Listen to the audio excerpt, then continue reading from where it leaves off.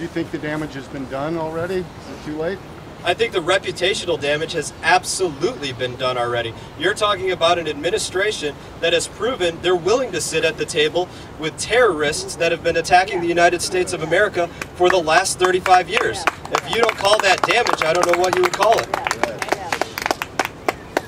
As someone who's uh, sacrificed so much for our country, of course, Eh, with this deal and the controversy surrounding it, many people say, well, we just don't want war, and what's the alternative? No more war. How would you, as, as a, a personal wounded veteran, respond to that? I can tell you this that neither myself nor any of my peers that served in the military seek war. That is not our desire. We seek peace, but we go to war to make sure that our enemies aren't making decisions for the United States of America, that we can always make decisions for ourselves. Yeah.